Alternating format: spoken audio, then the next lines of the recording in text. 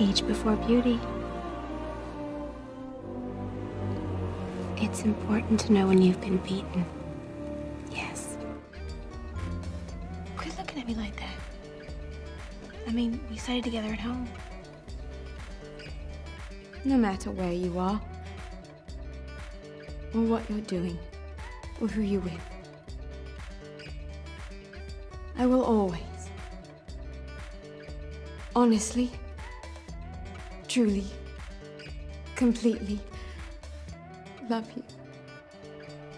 Every day I'm in my, my trailer going, oh my God, how do I, how do I like keep all of these things and have no one notice? But I can't. I like Paris, but I'm not really sure Paris likes me. And maybe that's okay. I've spent my entire life wanting to be liked. That's a pretty miserable goal.